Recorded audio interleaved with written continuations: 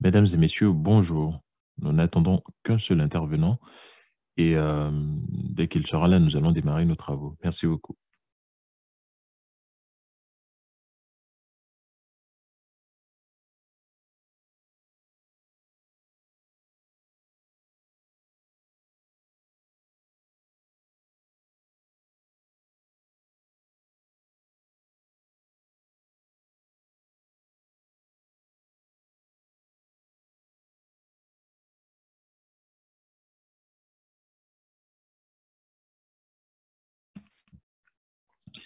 Heu, je pense que nous allons maintenant démarrer. Mesdames et messieurs, bonjour. Bienvenue. Aujourd'hui, nous parlerons, de du rôle des parlementaires pour faire face aux cybermenaces. Eh bien, aujourd'hui, c'est un jour spécial, car c'est le résultat d'un travail avec les parlementaires, de leur faire participer également à l'IGF et je suis, heu, heureuse d'être ici en tant que modératrice.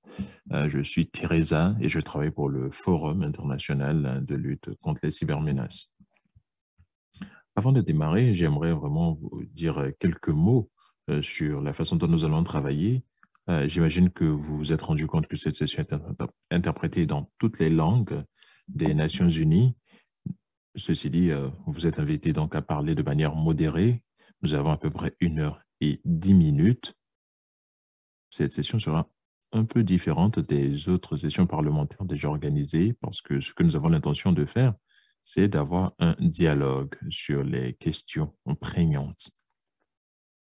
Avant de démarrer ce débat, j'aimerais dans un 1er temps exprimer ma gratitude à tous les organisateurs du segment parlementaire qui prendront d'ailleurs la parole pour leurs allocutions. Nous avons monsieur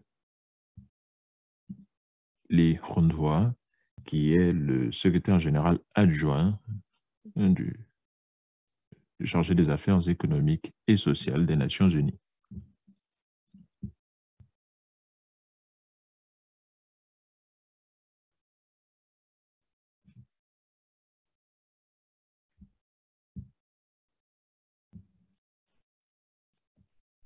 Mesdames et messieurs, désolé, malheureusement, la qualité du son est inexploitable pour les interprètes.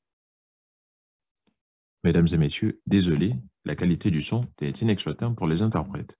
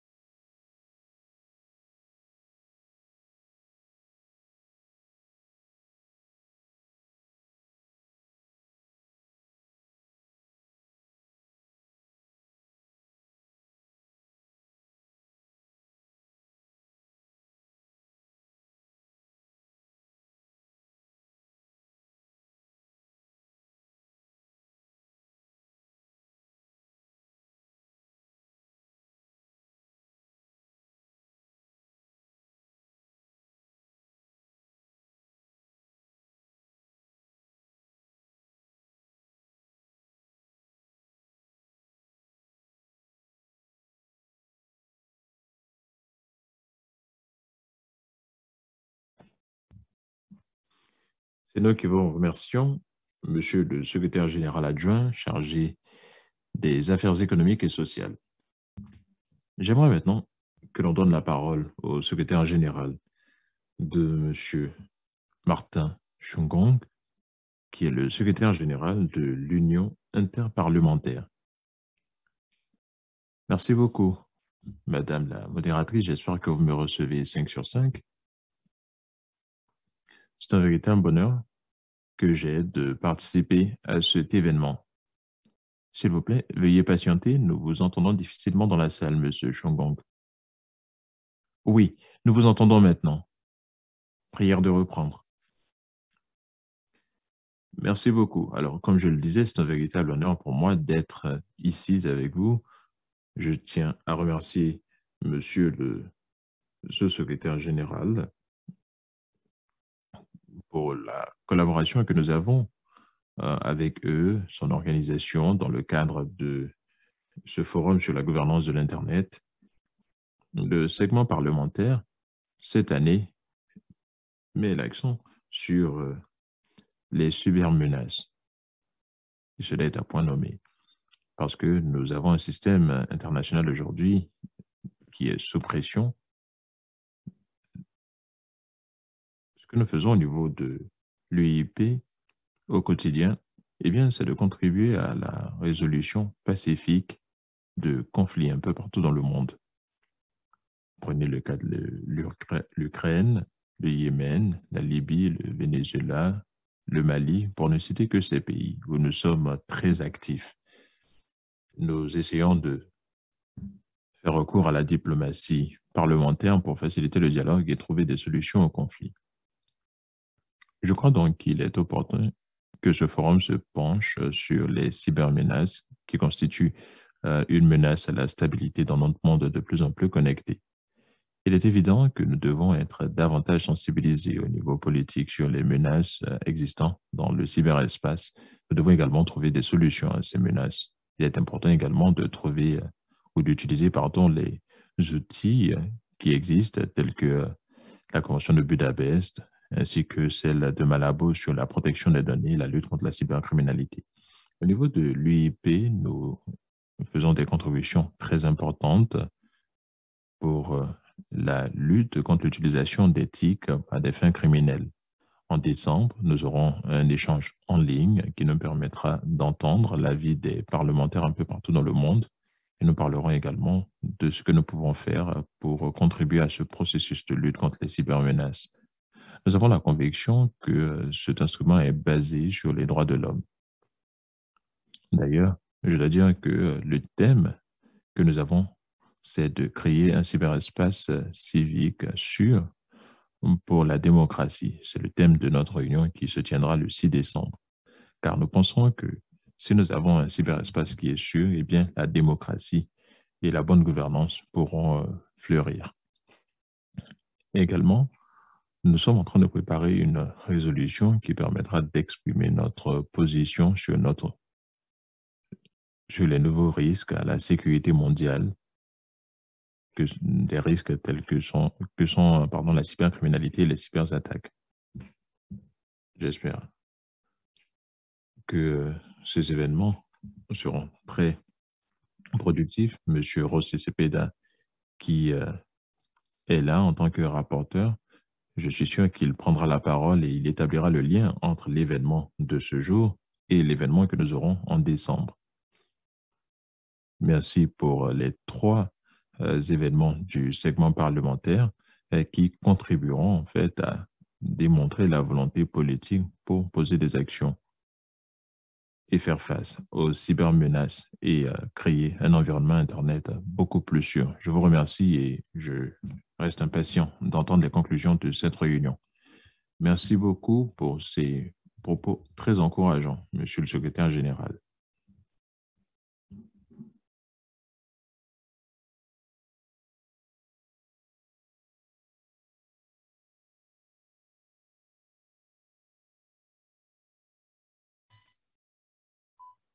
En Éthiopie, vous avez la parole, monsieur.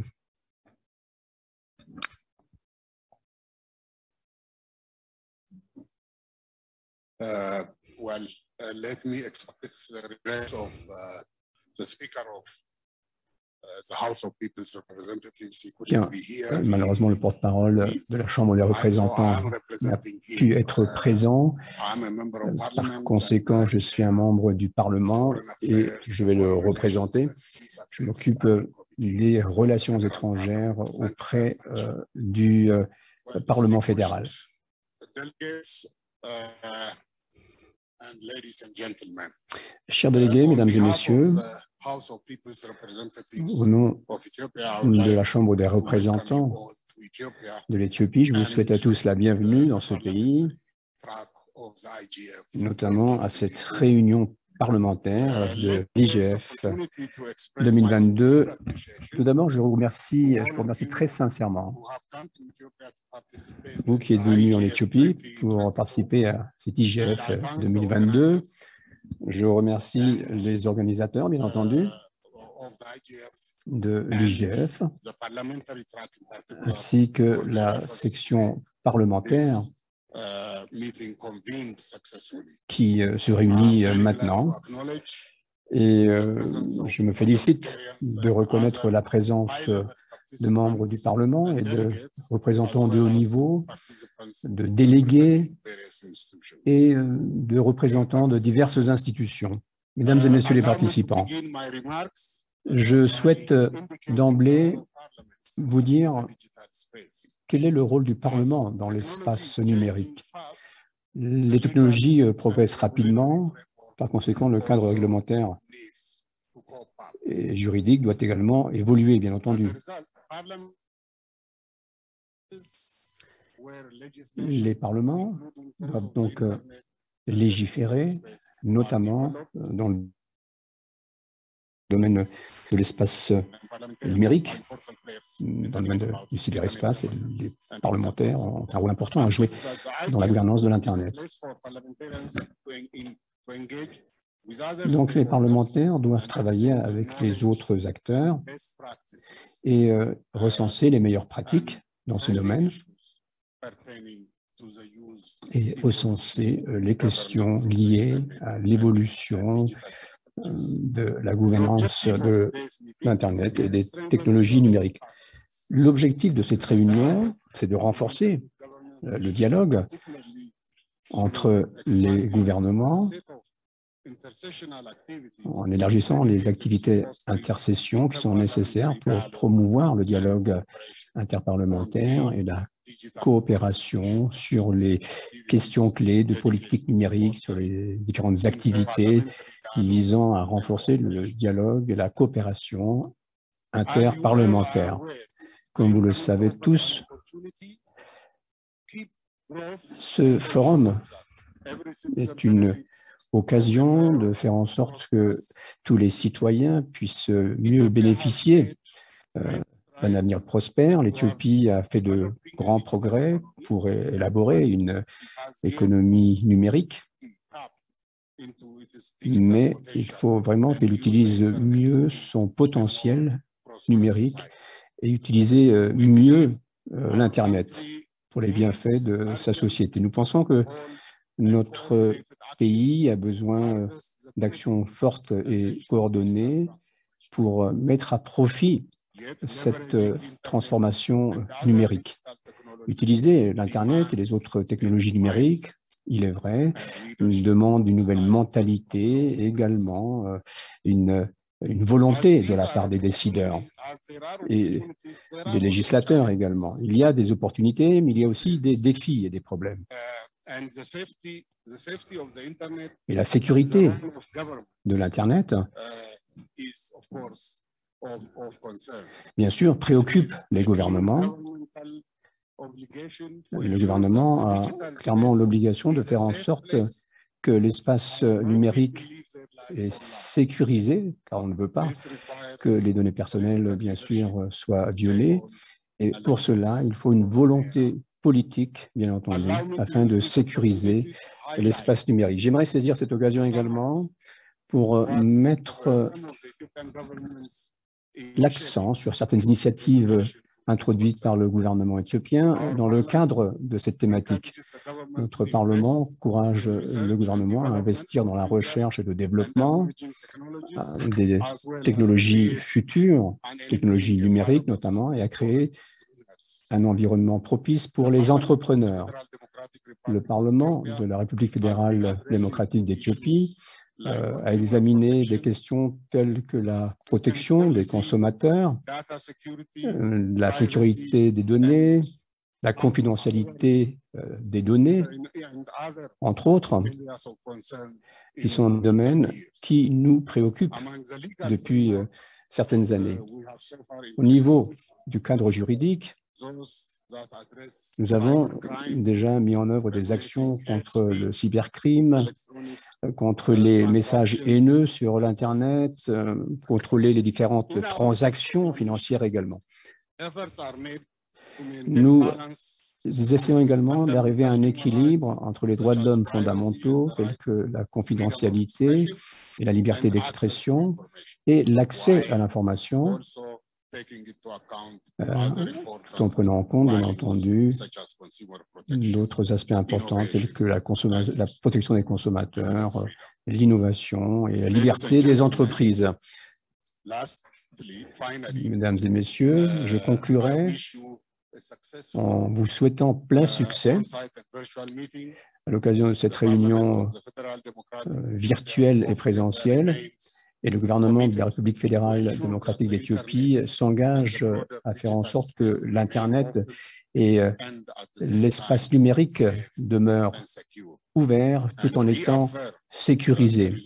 Et nous réaffirmons que la résolution des problèmes euh, posés par les menaces numériques sont euh, centraux et doivent être résolus en travaillant de concert. Je vous souhaite plein succès à cette réunion et je vous remercie de votre attention. Uh, uh, uh, Merci infiniment, monsieur, d'avoir euh, pris la parole au nom du porte-parole du Parlement éthiopien. Maintenant, je voudrais que l'on poursuive euh, les débats que nous avons euh, commencés avec euh, cette session. Alors, il faut parler de la dimension multipartie prenante des travaux qui ont été faits au niveau de l'axe parlementaire de, de l'IGF. Nous avons ici les membres du Parlement, mais nous avons également d'autres acteurs à cette session. Si vous le permettez, par conséquent, je vais commencer par M. Edmond Chonk, membre du conseil ICANN et directeur général de DOT Asia. Nous avons également Samuel George, membre du Parlement euh, ghanéen, soyez le bienvenu. Ner Komkula, membre du Parlement européen. Je poursuis avec Carlos Sebastián García, euh, membre du Parlement du Paraguay, et enfin Jinson Lucia de Africa Lucy Alliance à Abuja. Soyez les bienvenus et bon, quelques points dont nous allons débattre ici, entendu, et sur lesquels vous allez vous exprimer. Tous ces points ont trait à l'IGF ou à des questions connexes et également au rôle des parlements nationaux, notamment pour faire face aux cybermenaces. La première question que je vais vous poser, mesdames et messieurs, est quel est le rôle, selon vous, des parlementaires? Ou quel est le rôle que devraient jouer les parlementaires pour faire face aux cybermenaces et pour essayer euh, de renforcer la coopération au niveau national, régional et international? Toujours sur ce thème, bien sûr. Voilà. Je pense qu'il n'y a pas trop d'intervenants, donc euh, ceci va plutôt se présenter sous la forme d'une conversation. qui désire euh, lancer les débats? À vous. Merci, Teresa, bonjour à tous, chers collègues. Je suis très heureux d'être euh, ici parmi vous. La première chose à faire, je crois, c'est déjà de savoir ce que l'on entend par cybermenace. Cybermenace se caractérise par des actes qui peuvent euh, produire de la souffrance ou des pertes, euh, pertes financières ou au niveau de la réputation également. Donc ce sont des menaces auxquelles il faut faire face. Donc cette discussion, je crois, est d'une grande importance. compte tenu du thème. Maintenant, pour ce qui est du rôle des parlementaires dans ce domaine, bon, je pense que normalement, euh, il y va de l'intérêt des parlementaires de prendre cela très au sérieux, bien entendu. Alors, au niveau du secteur euh, privé, euh, tout le monde veut réussir, mais tous les parlementaires également veulent réussir. Donc, je pense que, comme l'a dit l'Union interparlementaire, la démocratie doit être renforcée, maintenue. Et le cyberespace euh, peut représenter un problème euh, en raison des pressions qu'il peut occasionner, en raison des mauvaises informations, des fausses informations qu'il diffuse. Et euh, au Nigeria, nous avons différents comités qui sont responsables de différentes affaires, notamment des, finances, par exemple. Donc, si on ne fait pas attention, tout, va être touché. Les différentes commissions, finances euh, et autres doivent travailler de manière active avec le secteur privé pour les aider à faire face à ces cybermenaces. Donc le, droit est très important. Les lois sont importantes, il faut légiférer et ces lois nous permettent de, mieux superviser les actions. Et je crois que l'UNECA a lancé euh, une loi je crois, pour euh, la cybersécurité, je crois, en Afrique. Donc, on, euh, peut peut-être euh, l'utiliser, l'adapter à nos conditions. Et d'ailleurs, on l'a dit, on perd 10% de notre PIB en raison de, la cybercriminalité, ce qui est un chiffre énorme, effectivement. C'est la raison pour laquelle il faut vraiment bien examiner euh, la loi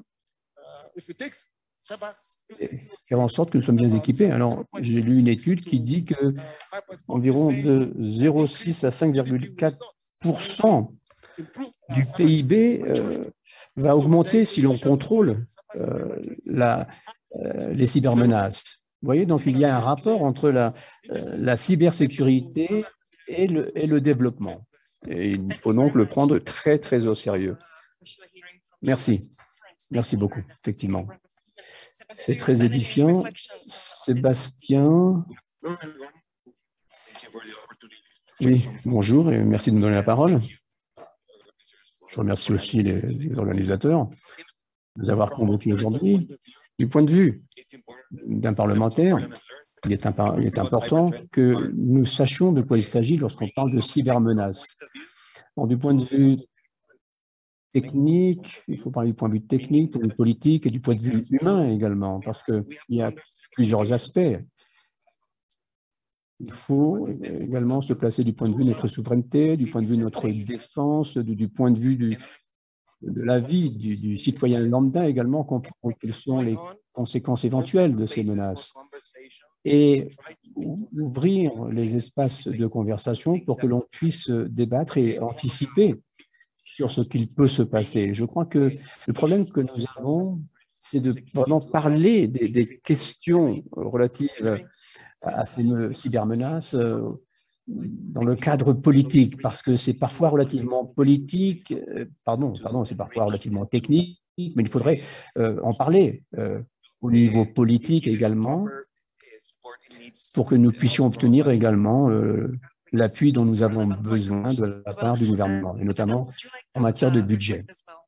Oui, c'est vraiment très important ce que vous voulez dire. À vous, oui, je représente euh, le Parlement européen, ce qui veut dire que nous légiférons également pour 27 euh, pays européens donc 27 euh, législations différentes. Et c'est vrai que le cyberespace ne respecte pas vraiment les frontières nationales. Et nous sommes assez fiers euh, parce que bon, nous sommes plus forts peut-être euh, à plusieurs. Et au niveau de la législation, nous travaillons à présent sur l'équipement en matière de cybersécurité, d'équipement nécessaire. Bon, nous avons un marché de 440 millions d'habitants et euh, effectivement, il faut euh, fournir de bons équipements aux entreprises pour qu'elles puissent faire face à, ces euh, cybermenaces. Mais le rôle du Parlement, des parties prenantes, c'est de faire avancer la société, car nous sommes responsables de la sécurité de la société également. Et la sécurité, c'est également lorsque vous êtes en ligne, pas uniquement lorsque vous êtes hors ligne. Par conséquent, si on pirate les réseaux et que vous n'avez plus d'eau ou d'électricité, eh bien, bien entendu, cela pose un, vrai problème. Alors, ce type de sécurité doit être compris également afin de prévenir les risques potentiels. Et je suis d'accord avec mon collègue du Paraguay lorsqu'il dit que euh, il faut, au niveau des membres euh, du Parlement, avoir effectivement différents types de compétences. Il y a des ingénieurs, mais il y a aussi des personnes qui travaillent sur la santé ou dans d'autres domaines. Il faut que ce soit en fait euh, des personnes qui ne soient pas forcément des visionnaires, mais qui soient au, au courant du développement numérique et de ce que peut apporter la numérisation en termes euh, de cybermenaces, afin que nous n'en subissions pas trop les effets négatifs. Très bien. À vous maintenant.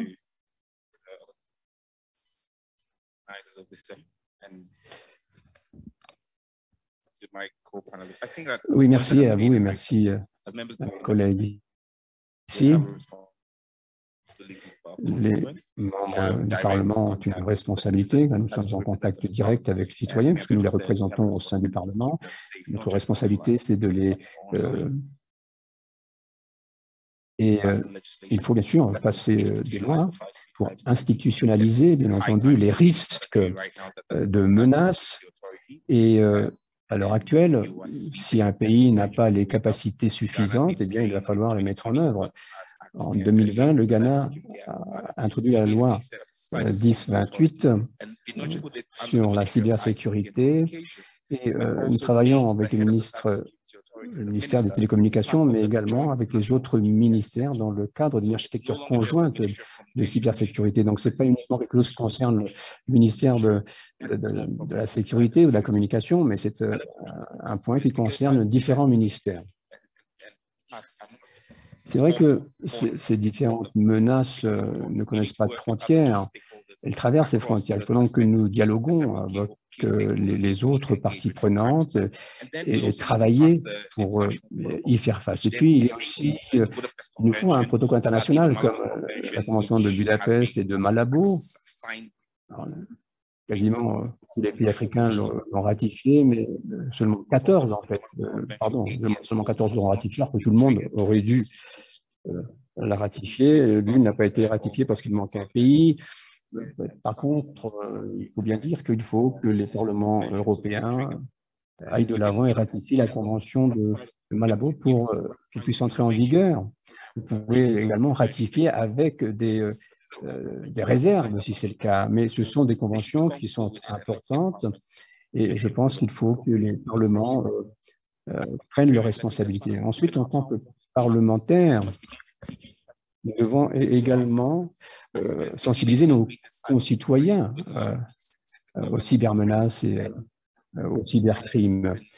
Il faut bien savoir que nos concitoyens sont poussés à utiliser l'Internet, mais ne sont pas équipés pour faire face aux différentes menaces, ils n'ont pas été sensibilisés aux menaces et, et, aux cybercrimes. Donc, il faut déjà commencer à donner la priorité à la sensibilisation de nos concitoyens dans ce domaine. Merci beaucoup. On va peut-être euh, parler aussi du rôle euh, et euh, des responsabilités, notamment des autres parties prenantes. C'est vrai que les différents membres du Parlement ont leur mot à dire, mais qu'en est-il des autres acteurs? J'ai pu demander ce que vous en pensez. Écoutez, je très heureux de, voir que les parlementaires veulent participer à ces efforts je pense qu'il n'y a pas que le rôle parfois des institutions comme l'ICANN ou l'IGF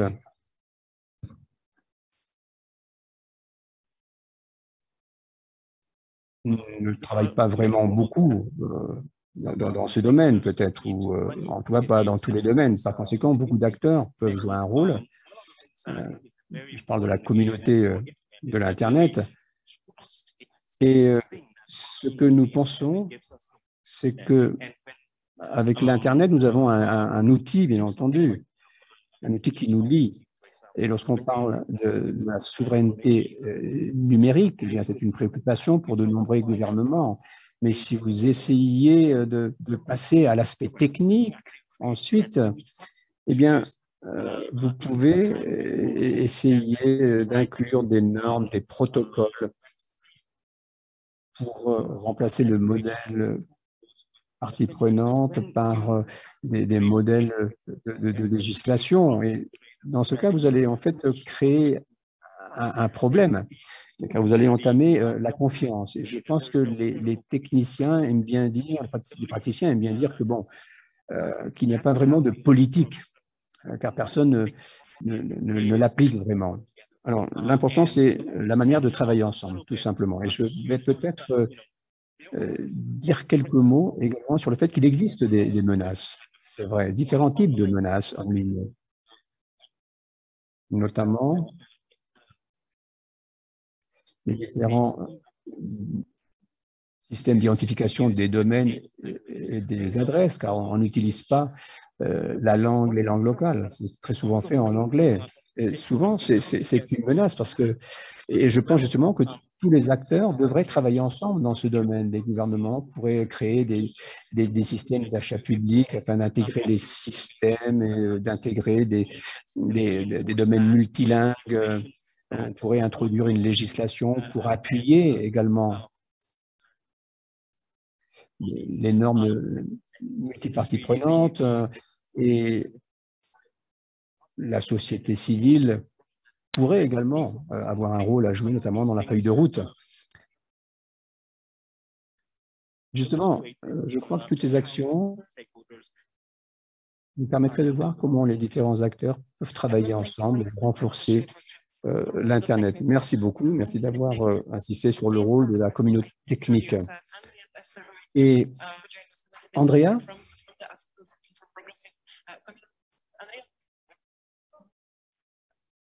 Vous allez peut-être nous dire quels sont les rôles les responsabilités de la société civile également pour faire face euh, aux cybermenaces. Oui, merci beaucoup, Teresa.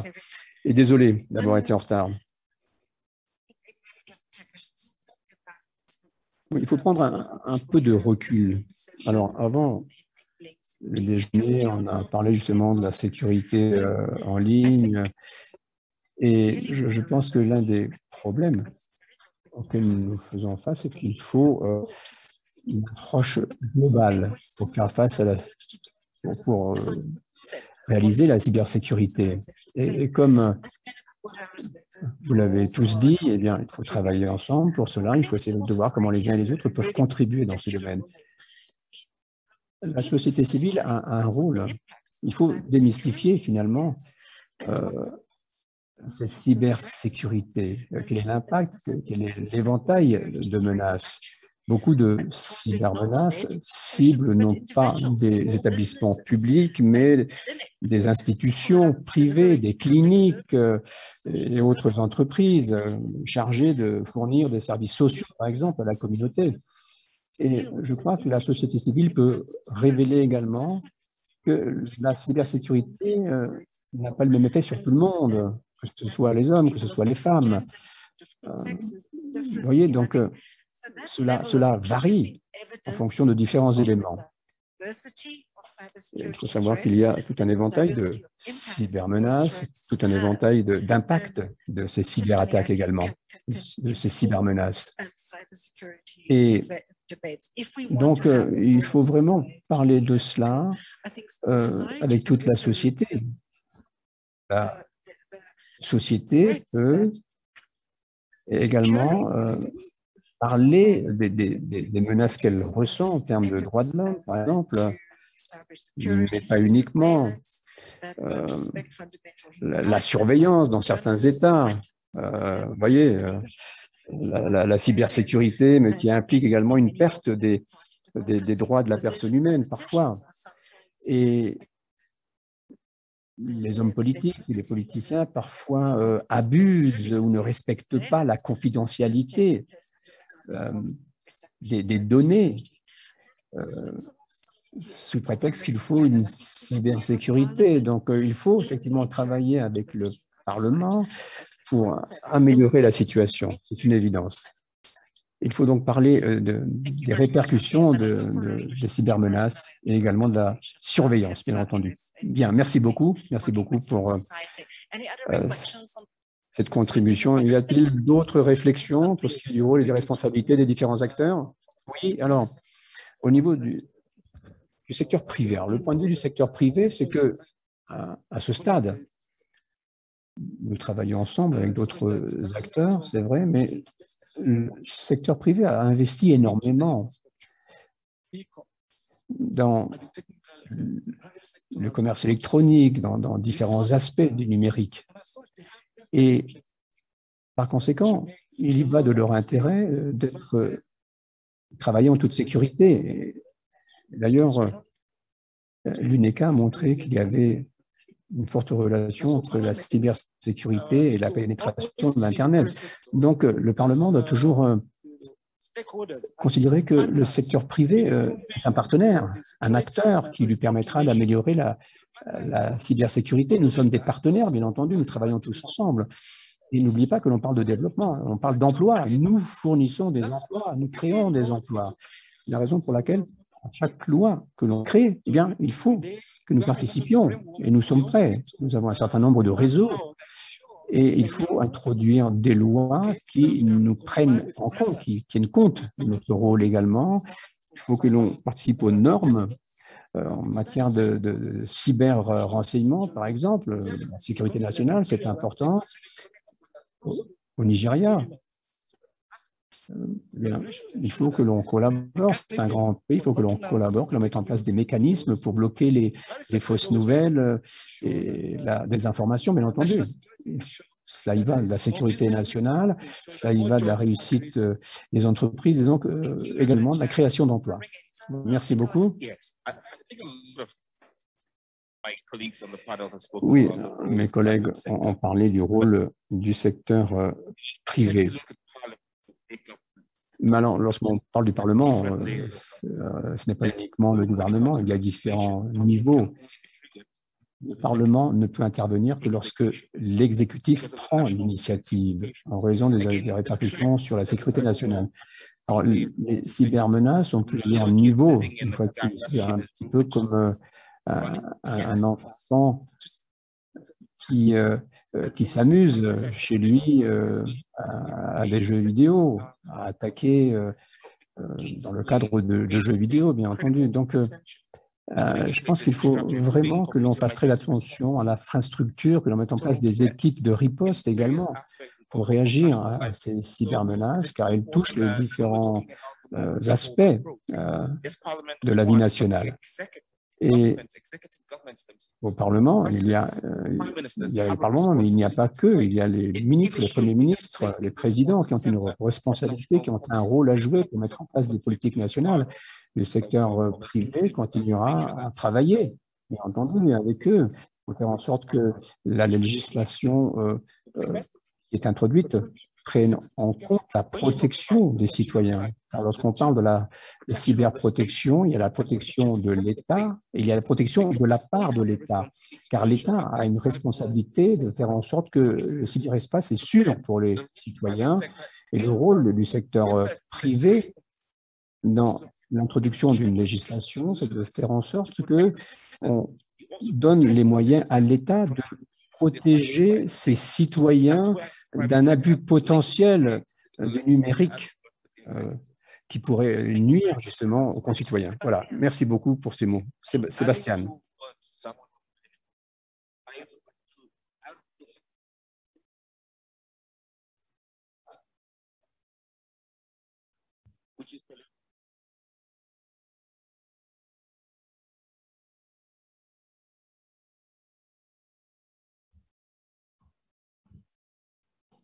Oui, je comprends que parfois les gens aient une mauvaise perception des acteurs politiques. je pense qu'il faut aussi euh, que tout le monde participe, que ce soit les universités, la société civile, le secteur privé, etc. C'est tout, ça qui sensibilise davantage les acteurs politiques et les décideurs. C'est dire que oui, c'est bien de susciter des débats au niveau du Parlement et de permettre à toutes les parties prenantes d'avoir leur voix entendue dans ce débat. C'est vrai qu'il y aura quelque part des conflits euh, d'intérêts, mais euh, le plus important, c'est aussi d'avoir des consensus, parce que je crois que ces débats permettront d'intégrer la question des cybermenaces dans le débat politique. Et comme on l'a dit ce matin, c'est de cette façon que l'on pourra en fait euh, mettre devant de la scène cette question de la cybersécurité. Parce que si l'on veut attendre d'être victime euh, d'une euh, cyberattaque, eh bien, ça peut être trop tard.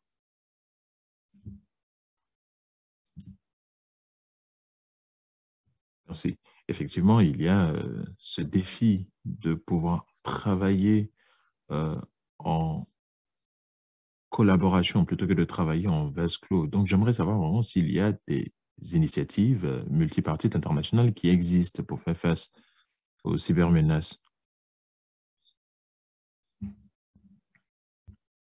Oui, en fait, j'aimerais dire qu'il y a plusieurs acteurs internationaux avec lesquels nous pouvons euh, travailler. Prenons l'exemple du Ghana. Il y a ce qu'on appelle euh, Freedom Online Coalition, euh, qui est un acteur clé de cette liste, de cette lutte pardon, contre les cybermenaces.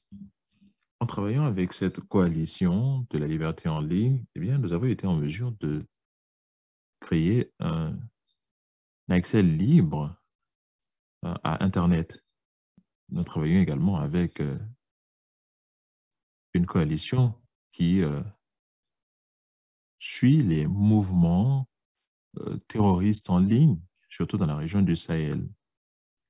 Il y a ce qu'on appelle la Gift Tap Initiative. C'est un outil que nous utilisons au niveau du Parlement pour faire le suivi des menaces terroristes en ligne. Il existe également d'autres groupes avec lesquels nous travaillons en étroite collaboration parce que euh, dans ce qu'on appelle les pays du Nord, on a l'impression euh, qu'ils sont en avance euh, dans la mise en place de mécanismes pour se protéger en ligne. Alors, nous pensons que chez nous, dans les pays du Sud, eh bien, nous pouvons nous inspirer de ce qui s'est fait dans le Nord et également éviter de reproduire leurs erreurs. Ça veut dire qu'il y a plusieurs choses qui sont déjà disponibles. Il y a beaucoup de groupes de travail euh, qui existent. Il existe également le DC Cloud Project dans le cadre du Conseil de l'Europe. Euh, c'est euh, un outil que nous avons utilisé pour renforcer les compétences des agents de sécurité. Par le passé, on ne savait pas forcément comment utiliser et lutter contre la cybersécurité grâce au big data. Merci beaucoup. Merci à vous, euh, Samuel, d'avoir bien voulu partager ces initiatives euh, au Ghana. Nous allons maintenant donner euh, tout de suite la parole au prochain intervenant. Merci. je pense que l'une des principales initiatives à l'échelle internationale, c'est l'IGF. Il y a également des initiatives régionales et nationales de l'IGF et je pense qu'il est important de renforcer ces initiatives, qu'elles deviennent une partie euh, de la discussion euh, au niveau national et international sur la cybersécurité. Une autre chose que j'aimerais ajouter, d'un point de vue technique, c'est qu'il y a des acteurs clés, des institutions telles que l'ICANN, qui gère tout ce qui est protocole Internet, adresse IP, paramètres informatiques, etc. Il y a aussi IOTF, qui est une plateforme d'ingénieurs ou un groupe de travail d'ingénieurs qui est chargé des protocoles informatiques. Il y a aussi euh, les registres Internet euh, ici en Afrique et dans d'autres régions. Ce sont des acteurs clés avec lesquels nous devons travailler. M'appuyant également sur ce que vient de dire Sam, je crois que les législations locales doivent également prendre des dispositions pour protéger les utilisateurs finaux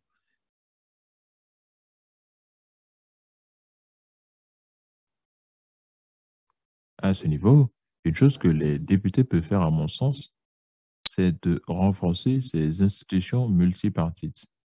Celle qui développe ces outils multifacettes de protection en. Merci beaucoup. En fait, j'aimerais, si je le pouvais, donner une très bonne note à mes collègues, mais j'aimerais ajouter simplement une autre plateforme internationale qui est Afrinic. Afrinic, c'est vraiment une initiative africaine relativement récente que l'on peut renforcer. Cela nécessite bien sûr des investissements financiers non négligeables. Il y a quelque chose qui a été dit par mes prédécesseurs, notamment celui du Ghana, qui a dit que le pouvoir exécutif doit également jouer un rôle important. Alors, je suis d'accord avec lui, mais je pense qu'il faut également que le secteur privé ait sa place. Alors, oui, permettez-moi d'apporter un petit élément. En fait, je peux dire que chez nous, au Ghana, il y a en fait la possibilité que le secteur privé intervienne, mais il faut que le gouvernement leur permette d'agir.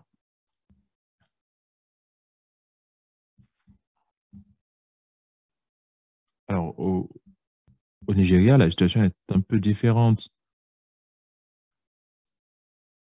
Il y a la possibilité, en fait, de faire participer le secteur privé. Et c'est ce qui se produit au Nigeria.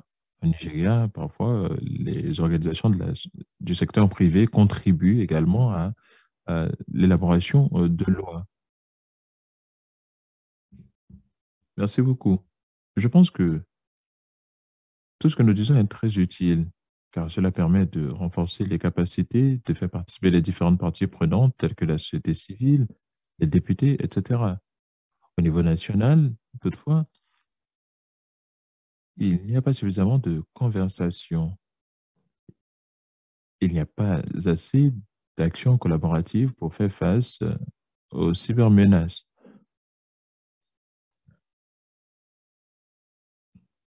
Parfois, il y a des attaques au rançongiciel. Il y a également des attaques sur des institutions et des infrastructures publiques et le gouvernement ne sait pas trop quoi faire et c'est des consultants privés qu'il recrute pour faire face à ces problèmes. Je pense donc qu'il est important, en fin de compte, de faire un diagnostic pour savoir d'où viennent les problèmes, pour sensibiliser le public, pour sensibiliser euh, les institutions publiques, etc., afin que ces derniers sachent comment mieux se protéger en ligne. Et ça, je pense que c'est quelque chose qui manque. Et pour moi, le secteur privé peut combler ce fossé. Je pense aussi que le gouvernement ou le Parlement, pardon, a un rôle à jouer pour qu'il y ait ce partage d'informations.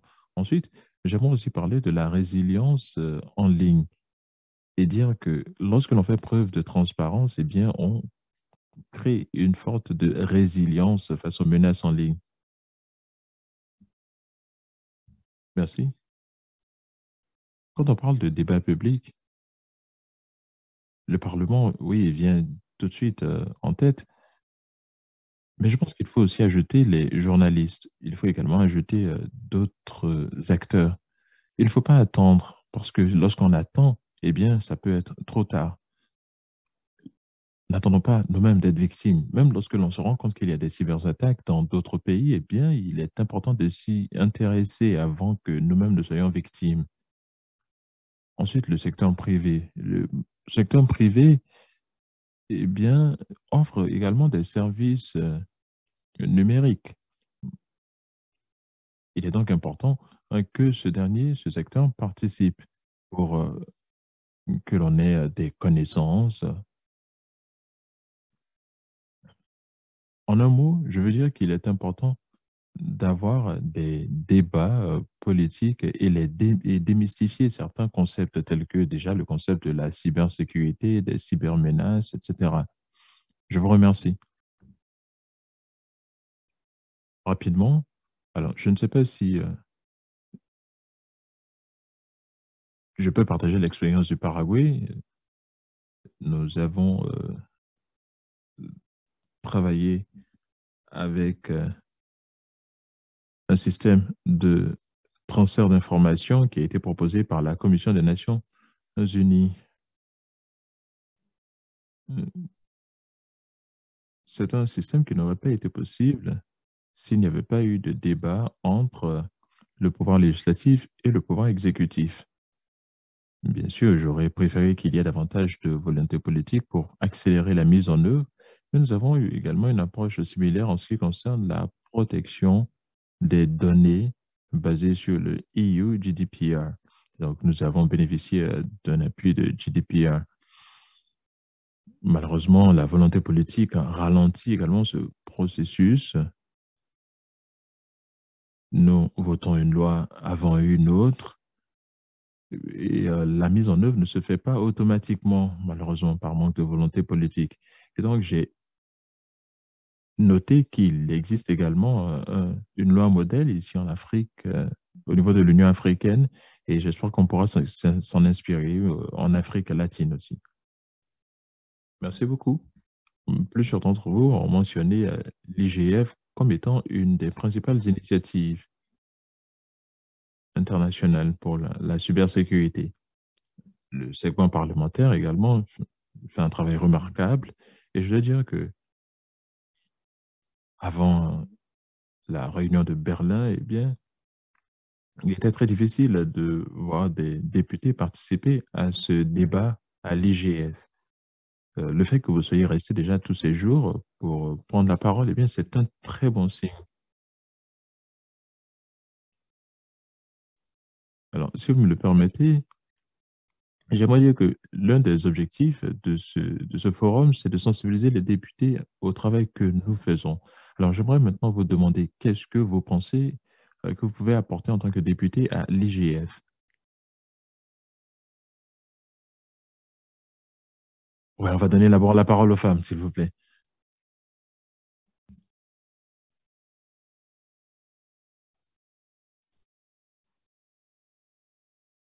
L'une des choses qui est très intéressante et qui m'a poussé à venir ici, c'est la possibilité vraiment de discuter, d'échanger des idées avec les collègues d'Afrique, d'Amérique latine, euh, de parler également des citoyens et tout ça. Et donc, je suis heureuse d'être ici pour entendre ce qui s'est passé en, en, matière de cybersécurité, de voir comment les autres y ont apporté des solutions, s'en inspirer. Alors, c'est vrai que l'Union européenne est dans son ensemble déjà beaucoup plus en avance que les États individuels de, la communauté. Mais euh, comme euh, euh, Samuel l'a dit, parfois il arrive des cas où des États eux-mêmes encouragent le terrorisme. Et pour, y contrer, pour contrer cela, eh bien, le Parlement a un rôle à jouer. J'ajoute aussi qu'il existe également une plateforme pour les jeunes ces jeunes, nous devons les capter très tôt parce que c'est très tôt que le choix, euh, une bonne orientation, une mauvaise orientation est faite. Nous devons donc euh, travailler avec les jeunes pour qu'ils soient du bon côté, pour euh, qu'ils soient prêts en cas de défi en ligne ou pour tout autre défi. Je tiens enfin à saluer la présence de tous ceux qui sont euh, présents ici, que ce soit les, acteurs du secteur privé ou les ONG.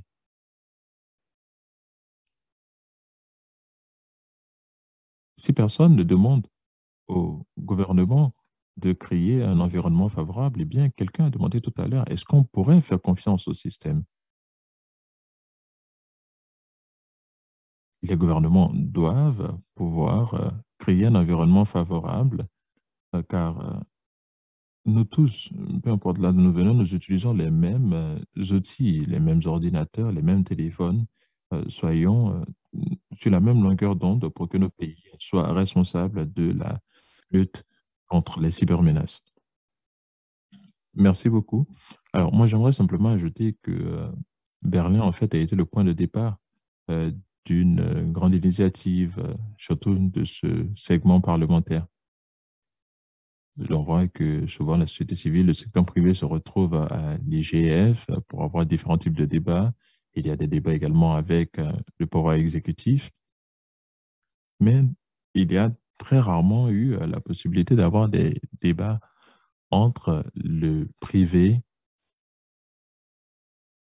et le pouvoir exécutif. Or, je pense que le Parlement, le pouvoir législatif peut vraiment jouer ce pont, ce rôle de pont entre l'exécutif et le privé.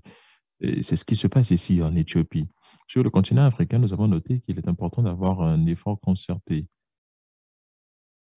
Alors, ce qu'il faudra éviter, c'est que euh, l'IGF se transforme en une plateforme où nous venons simplement faire du blabla chaque année.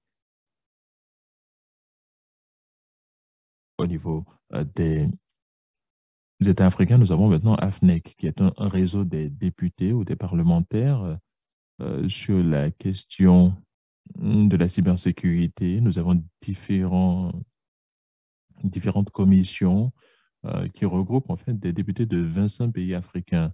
Et nous avons des débats continus sur euh, les questions qui ont été abordées lors de l'IGF. Par exemple, lors de cette session de l'IGF, eh nous avons rencontré euh, Mian Ketra et la délégation des députés de l'Union européenne pour voir comment est-ce que nous pouvons échanger euh, des bonnes pratiques. Nous avons parlé notamment de la fabrication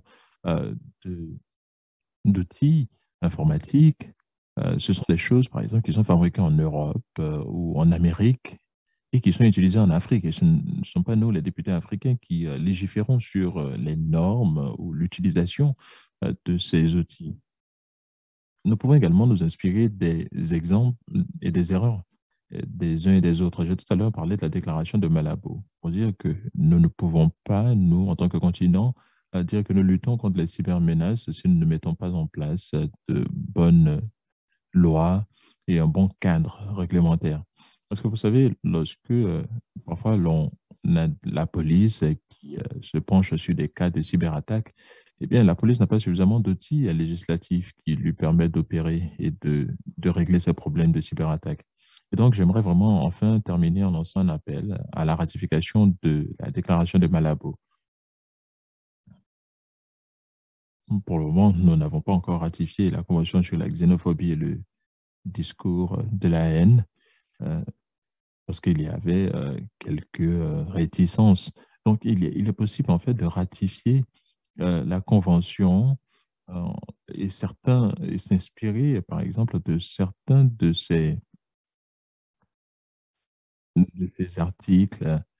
Et donc, j'aimerais vraiment conclure en, en, disant que la convention de Malabo doit être ratifiée par tous. Merci, merci. Ça se voit vraiment que vous êtes un député parce que vous êtes très convaincant dans, votre prise de parole. Euh, tournons-nous maintenant vers euh, la prochaine intervenante. Oui, effectivement, vous pouvez euh, ratifier et amender le, texte. Alors, il y a quelques mois de cela, j'ai rencontré l'honorable Sam George et je lui disais comment est-ce que la société civile perçoit la question de la cybersécurité et comment c'est difficile avec euh, des gouvernements. La question de la cybersécurité est une question de sécurité nationale. J'ai récemment eu un débat, une conversation avec euh, monsieur le député Georges et j'ai compris qu'effectivement, oui, c'est une question de sécurité nationale, mais pas seulement. nous également, au niveau de la société civile, nous devons comprendre que euh, la, cybersécurité est une question de sécurité nationale et donc euh, il est important euh, de changer nous aussi notre perspective. J'ai compris cela en discutant avec un, un parlementaire, notamment l'honorable Sam George. L'autre chose que j'aimerais dire, c'est que parfois nous sommes un peu déçus de la démocratie. Nous avons une approche multipartite au niveau de la société civile qui regroupe les gouvernements, la communauté des techniciens, etc. Tous ces groupes sont très hétéroclites. Et donc, il nous faut évoluer et faire en sorte que nos système euh, multipartite soit beaucoup plus inclusif. Autrement, eh bien, nous n'aurons pas vraiment euh, une approche ou une compréhension beaucoup plus inclusive de la société civile.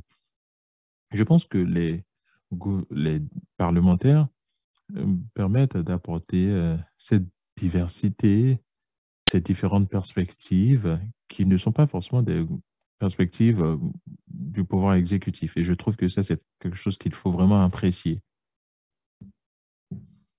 Merci. Alors, j'aimerais faire un commentaire. Je me réjouis de voir comment le segment parlementaire de l'IGF progresse. Je note également qu'il y a un parallèle avec le GAC au niveau de ICANN, qui est le comité consultatif des gouvernements. Je vois qu'il y a ces sessions qui sont dédiées au Parlement. Ce sont des sessions qui sont vraiment très utiles pour avoir des débats très ouverts. Mais vous demandiez comment est-ce que l'on pourrait contribuer à l'IGF Eh bien, je pense qu'il faudrait davantage des sessions ouvertes au public où l'on peut se prononcer sur des questions pertinentes, notamment celles de la sécurité en ligne, pas seulement au niveau national, mais aussi au niveau régional, au niveau international. Il serait vraiment bien que les députés également puissent participer à l'IGF à différents niveaux. Et comme Georges l'a dit, il ne faut pas seulement que ce soit un talk show où on vient pour faire du blablabla. Non, il faut que les débats soient beaucoup plus profonds. Alors, quelqu'un d'autre a aussi à parler de la résilience. Je pense que la résilience, c'est vraiment ce qu'il y a de plus important. Il ne faut pas simplement euh, chercher à bloquer qui que ce soit mais il faut une résilience à tous les niveaux, au niveau national, au niveau régional et au niveau international. Il faut également la résilience des personnes, car c'est pour moi ce qu'il y a de plus important. Et c'est là où les parlementaires ont également un rôle à jouer. Je vous remercie. Merci pour ces suggestions très pertinentes qui montrent comment est-ce que l'on peut euh, avoir une plus forte participation des parlementaire à l'IGF. Alors, j'ai bien compris, vous demandez qu'on puisse ouvrir un peu plus les sessions. Voilà, nous allons maintenant donner la parole à Sébastien. Alors, je suis euh, euh, également du secteur privé, pour ainsi dire. Vous savez, lorsque vous ne pouvez pas mesurer quelque chose, vous n'arrivez pas à bien le gérer. Et donc, il est bien que l'INDES, l'Observatoire des parlementaires, puisse mesurer le travail que nous faisons en matière de gouvernance euh, de l'Internet. Car comme l'a dit le mm, député Sam George, il ne faut pas seulement se retrouver pour parler, mais il faut mesurer également euh, l'ampleur de nos actions. Pour moi, euh, l'IGF constitue un oasis pour nous, acteurs politiques. C'est également le lieu qui nous permet de partager des expériences dans notre cas, nous avons appris beaucoup de choses depuis Berlin, ce qui nous a permis d'avoir une approche multisectorielle. Et nous avons également pu soumettre un projet de loi sur la protection des données.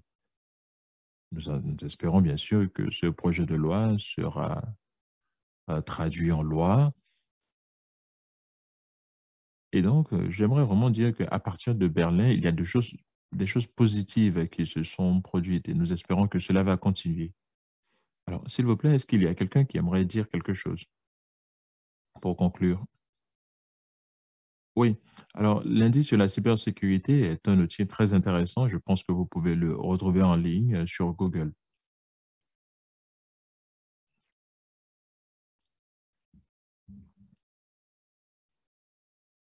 Je pense que j'aimerais révéler quelque chose hein, qui ne va pas déranger mes collègues, je l'espère. J'aimerais dire que parfois, au niveau du Parlement, nous pensons que nos services euh, des affaires étrangères, nos ministères des affaires étrangères, font des négociations sur la cybersécurité sans euh, tenir compte euh, de l'avis de toutes les parties prenantes. Or, c'est tout le monde qui doit participer. Aujourd'hui, quand nous avons une plateforme comme l'IGF qui regroupe toutes les parties prenantes, notamment les députés, eh bien, nous pensons que c'est vraiment ça la bonne voie à suivre. Aujourd'hui, étant ici, nous voyons que les Nations unies font du très bon travail, mais ce n'est pas toujours que tous les députés sont informés du travail que vous faites. Vous avez au niveau des Nations unies différents types d'activités que vous menez, chacune dans son coin, et je pense qu'il est vraiment important de pouvoir inclure tout le monde. Merci.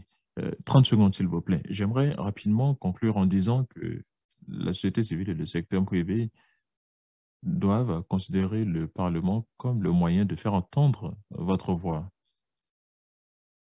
Ce segment parlementaire de l'IGF donne euh, au moins une fois par an l'opportunité d'interagir. Je souhaite qu'il y ait beaucoup plus de rencontres euh, ouvertes comme celle-ci, où euh, le public peut également poser des questions, où l'on peut également discuter d'initiatives politiques.